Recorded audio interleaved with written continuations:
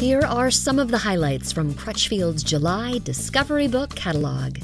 Hit the highway enjoying the awesome programming variety of Sirius XM satellite radio.